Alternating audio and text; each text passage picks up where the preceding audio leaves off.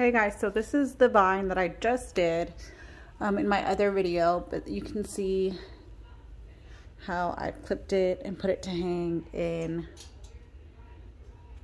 one of my gliders cages.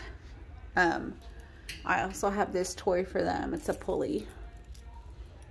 I'll be making a, uh, a video on that soon. Um, this is another toy that they have. Not necessarily a toy, but it's um, a rope. Um, and then like their, one of their hideouts. One of their pulleys. This is a dual. Um, and this is, you know, their actual, um,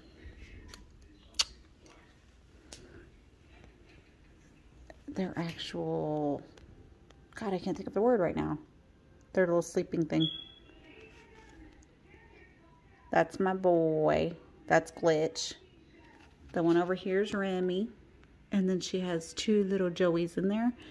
Um, I would put my hand in, but Dad, which is my Ruby Lou, him right there, doesn't like visitors with the baby. So um, he tends to be a little bit protective of his babies, which is fine. Let me see if I can get, no.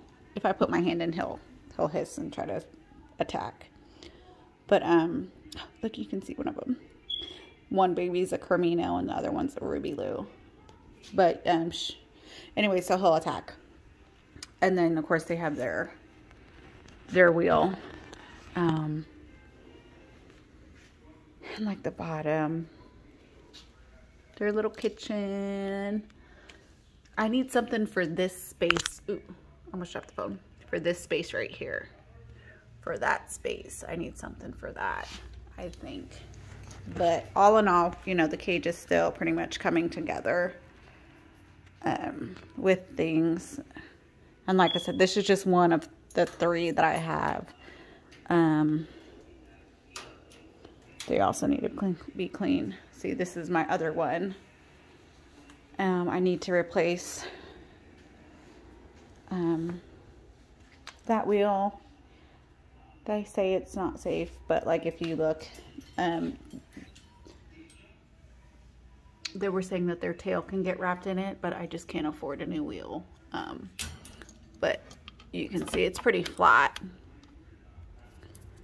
Uh, but these are my twins. They're both mosaics both boys. So they're still little. And then this is my third cage, the newer cage I had just gotten. So everything in this one's kind of mismatch. Um, that's my baby Angel. She's a white faced. She just had her babies. Their out of pouch date is today. And there goes dad. That's Stitch. And they are super sorry for all the motion on the camera um, they're super friendly opposed to um, the other, my other male. Um, he always bites this one.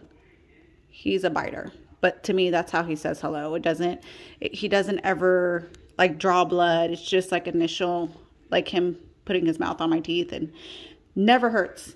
Um, that's just his, hello mom, is how I take it. But yeah, we'll be making lots more videos because I have a lot to do with their cages. Have a good one.